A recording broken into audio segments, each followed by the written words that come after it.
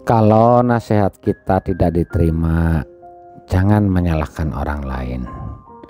Mungkin kita yang belum bisa memberikan contoh yang terbaik.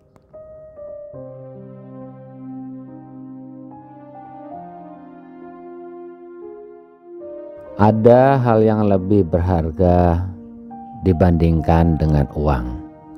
Ya, dialah sang waktu.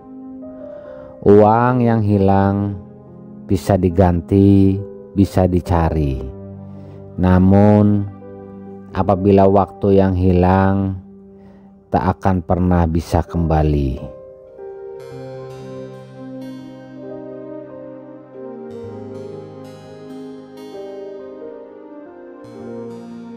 Saudara-saudari, para pecinta dan subscriber perjalanan batin, belajarlah tetap tenang dan sabar karena jalan keluar sebuah masalah dan jalan keluar sebuah kemenangan selalu diraih oleh mereka yang tetap tenang dan sabar.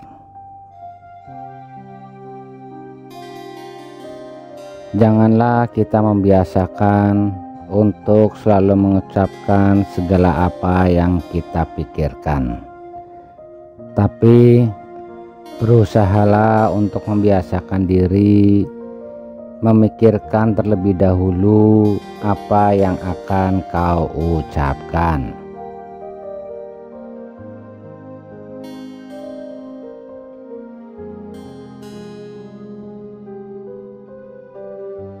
Saudaraku, jangan mudah menyalahkan orang lain.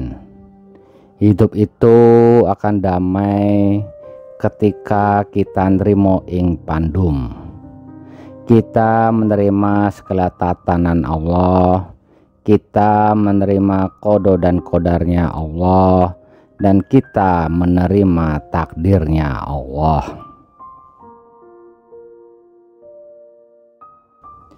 pengendali dari wujud jasadmu hingga laku dan ucapmu adalah kesadaran Ya, kesadaran akal, kesadaran rasa, dan kesadaran nafsu.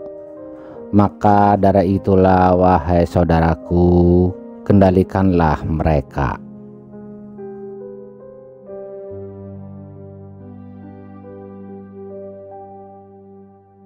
Jika ada manusia yang mengaku hidup dan merasa ada, bisa begini, bisa begitu, disebabkan oleh jerih payahnya sendiri. Itulah yang disebut keakuan. Mereka lupa bahwa Allah lah yang memampukan Allah lah yang memantaskan dan Allah lah yang mengkuatkan segala di dalam diri kita sejatinya kita ini tidak pernah memiliki apa-apa. Kita ini tidak akan kehilangan apa-apa. Semua yang ada itu hanyalah pengakuan saja. Para subscriber perjalanan batin, kita harus paham munculnya keinginan itu adalah karena akal yang berasumsi rasa kita yang mensifati dan nafsu kita yang membutuhkan.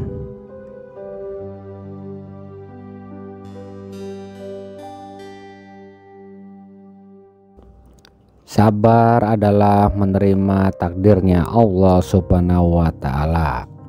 Syukur adalah menikmati kodo-kodarnya Allah Subhanahu wa Ta'ala. Dan ikhlas adalah kita mengerti ya mengerti atas kehendaknya Allah subhanahu wa ta'ala.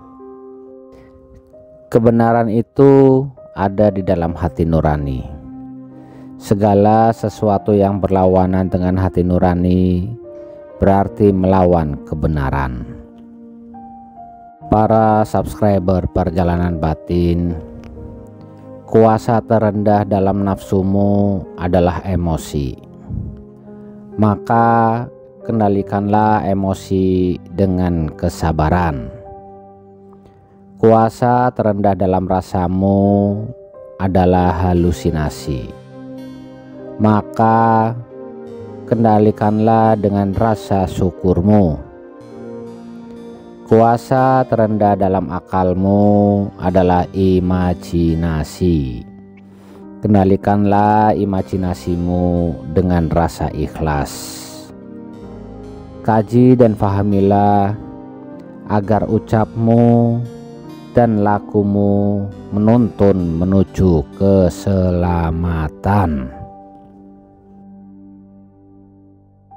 Kita harus tahu bahwa dunia ini dengan segala isinya, dengan segala kenikmatannya, itu bukanlah milik kita. Semuanya itu hanyalah milik Allah Subhanahu wa Ta'ala.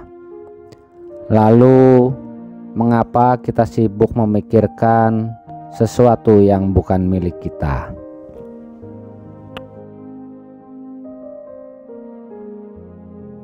Hiduplah untuk bermanfaat bagi orang lain. Seperti alam semesta ini. Alam semesta ini banyak memberikan manfaat bagi kita semua.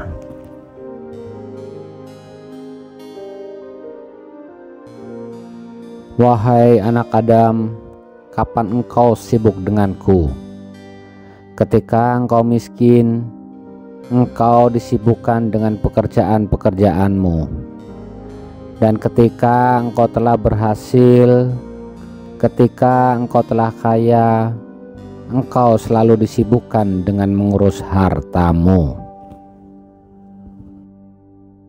Engkau tidak akan pernah belajar apa pun tidak akan pernah belajar dari siapa pun atau dari mana pun jika engkau senantiasa merasa benar, senantiasa merasa pintar, senantiasa merasa merasa yang lainnya, hingga engkau mengecilkan kepada yang lain.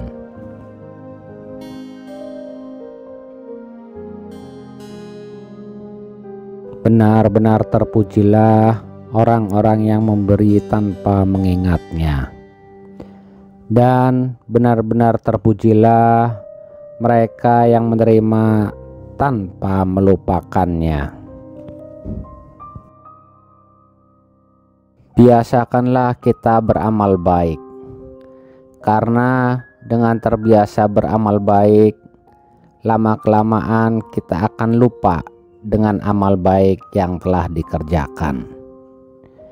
Ikhlas itu ketika kita sudah lupa dengan apa yang telah kita kerjakan. Saudara-saudaraku, para pecinta, para subscriber perjalanan batin, sadarlah bahwa kita ini bukanlah Tuhan. Jadi, jangan suka menghakimi saudara-saudara kita sekalian jika ada orang-orang yang sudah tidak percaya dengan ucapanmu, maka buatlah mereka percaya dengan perilakumu dan dengan perbuatanmu. Jangan kau maki, jangan kau usik. Pikiranmu bukanlah pikirannya. Sudut pandangmu bukan pula sudut pandangnya Caramu bukanlah caranya, dan bahagiamu bukan pula bahagianya. Surga nerakamu juga bukan surga nerakanya.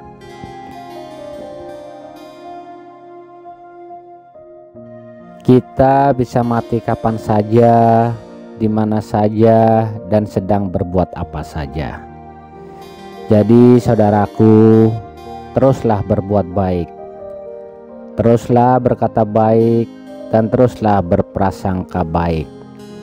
Karena hanya orang baik yang senang dengan segala sesuatu kebaikan walaupun dalam bentuk apa pun. Maka dari itulah saudaraku jadikanlah dirimu sebagai jalan kemudahan bagi saudara-saudaramu yang lain di saat kita hidup untuk membahagiakan orang lain maka Allah Subhanahu wa Ta'ala akan memberikan rizki kepada kita, ya, berupa orang-orang yang akan membahagiakan kita sendiri. Para pecinta dan para subscriber perjalanan batin, cinta adalah ketika kita sudah tidak lagi merasakan keegoisan, tidak ada keakuan dan kita sudah tidak lagi memikirkan untung dan rugi kepada apa yang kita cintai. Demikian kajian ini saya sampaikan. Semoga bisa bermanfaat untuk kita semua bersama keluarga, bersama teman dan bersama saudara-saudara kita. Jika ada salah kata dalam pengucapan saya mohon untuk dimaafkan. Kesalahan berasal dari kehilafan saya, sedangkan kebenaran datangnya dari Allah Subhanahu wa Ta'ala. Tinggalkan komentar Anda sebagai bahan masukan kami. Ikutin kajian-kajian berikutnya dengan menekan tombol subscribe. Wassalamualaikum warahmatullahi wabarakatuh.